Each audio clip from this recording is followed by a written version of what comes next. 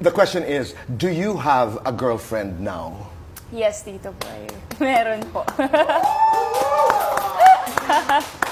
Is she a movie star? Is she outside of the business? no, non-showbiz po siya. Non-showbiz. Yes. Okay. As much as possible, non-showbiz po talaga yung Correct. gusto. Bakit?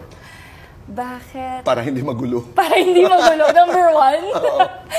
uh, number two, ayoko kasing magkaroon ng partner sa industry para hindi ko maramdaman na parati ko siya nakikita. Meron akong career and love na may gap dun sa dalawang yun. Ayoko magsama yung dalawa. I respect that. Yes. Di ba? Exciting. Yes. Eh, ito ang mundo ko dito, uuwi, this is my world, and then, ganda. Mm. Oo. Uh, others have different uh, opinions about it, pero Yes. I see your point. I, I totally see your point. Bahagi ba siya sa decision mong ito na mag-public? When you told her that you were coming out in the open, sasabihin mo sa iyong mga tagahanga, sa, sa iyong audience, that uh, I am gay. How do you identify yourself now? Lesbian. That I am a lesbian. Anong reaksyon ng girlfriend mo? Na-excite siya for me.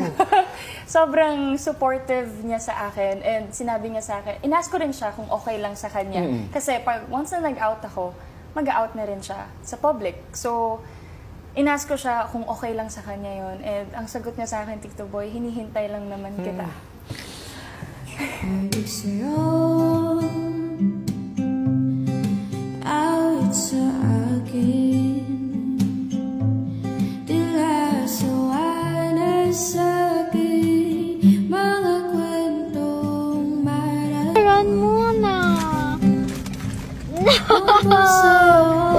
is it? Oh, it's nothing.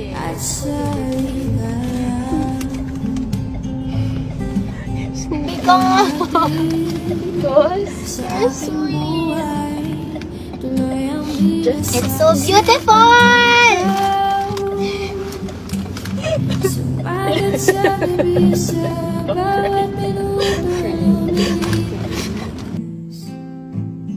Thank you, Mom. Where's my letter? I don't want. I don't want. I want a written letter. Binigay ko siya yung flowers. Ayan. Sa isip at panaginip Bawat pagpihit ng tadhana that.